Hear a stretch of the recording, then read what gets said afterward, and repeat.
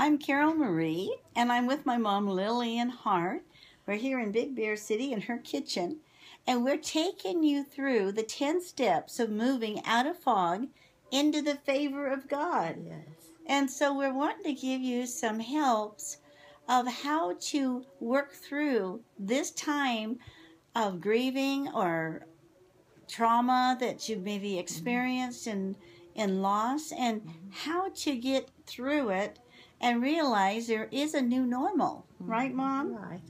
Now today we're going to talk on number six and it is some tips on dealing with loneliness. I think that was one of the hardest things for me mom Yes. because i married right out of you and dad's household and then i married a homebody sonny was always home and then even when the kids left he was home. Mhm, and then all of a sudden i was alone. mhm. And I remember moving to Tennessee, and when I got my first place, oh my goodness, Mhm. I couldn't stand to be by myself. Mhm. And I went to Walmart, and I would I would go up and down the aisles, and I'd visit with all the employees. I got to know them all by name. In fact, I remember my first birthday in Tennessee. I made them all sing happy birthday to me. And I would just end up shocked till I dropped. I would not spend money, but just look at stuff. And and finally, when I'd be so tired, like one or two in the morning, I'd go home and plop into bed just because it was so hard. Mhm. And you kind of went through that too when Yes. you were widowed. Uh-huh. Well, um, I didn't want to be at a home alone, and so uh, first I took uh, organ lessons, and then I joined um, a bowling team. I was a substitute bowler, a very poor bowler, but I was on the team and had give me something to do. And then uh, I joined every Bible study that was in town and I was literally running from one appointment to another until evening, and then I had to go to an empty house. And you know, a lot of people deal with that. I when I'm doing a class, I'll ask them, "How many of you sleep with a bunch of pillows tucked around you, mm-hmm. just to feel like there's a somebody next to you?" And I mm-hmm. mean, the hands go up. They mm-hmm. they do. Yeah. And so loneliness is, you know, it's a new normal. We're learning how to be by ourselves. Yes. And yet, many times people can be taken advantage of because they are lonely. Uh-huh. And so, um, everything from uh, people all of a sudden wanting to help them. I remember uh, one widow that was at our uh, widow center. There was this couple that came in, and they were always helping her, taking her to the grocery store, just doing really sweet things.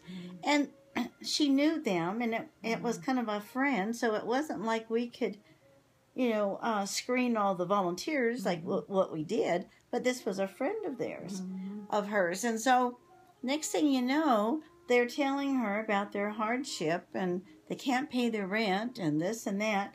And she's draining her savings account to help them. Mhm. Well, you know, so, and, and they maybe just weren't really out to take advantage of her. Maybe she just had a big heart. I also know, though, of situations where family members, Mhm. where they want uh, grandma to babysit, or they're wanting. I know one situation where not only was she asked to babysit, but they wanted her to build on this grandmother's quarter onto the house, and then move her in, and she paid for it all. Mhm. then she's watching the kids. Well, then all of a sudden, the family, the d- daughter-in-law is upset with her, and the, you know, it, and she's already gone through her money. Uh. And a lot of times I've heard, you know, I don't want to turn down my children because if I make my daughter-in-law upset, mm-hmm. Mm-hmm. she won't let me see my grandchildren. Oh yeah.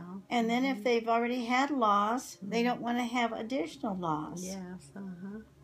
So one of the things that we want to encourage you is mm. as you're working through this into this new normal, while you're working through the uh-huh. fog, get some people that you can trust, Mhm. and you don't have to run till you drop, uh, because it it causes your grief recovery to extend. Mhm. you know, Mhm. because you're not facing it. You're staying busy. Yeah. So then you haven't worked through it. So I know women Mhm. that it's been 20 years and they still haven't worked through it, and it's because Mhm. they just stay busy. Yeah. hmm That's right.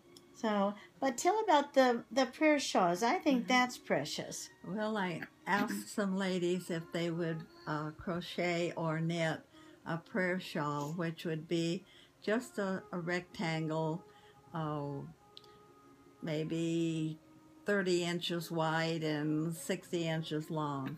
And then um, I, the new person coming into Grief Share would um, I would just wrap them and say, I wrap you in the love of Jesus. And one lady said, Going home to an empty house is the hardest part for me. So she said, I fold my prayer shawl and lay it on my husband's chair.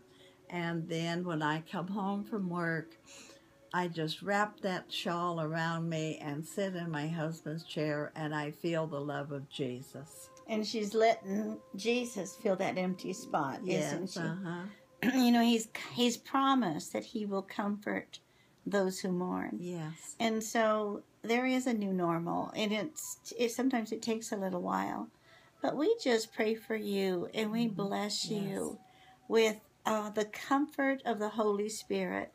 And Jesus said He sent the Holy Spirit to be our comforter, Mhm. and so we bless you with that. And as you travel through the ten steps of moving out of the fog into the favor of God, Yes. know that one of the parts of the God's favor is that He loves you Yes. and he'll never leave you or forsake you.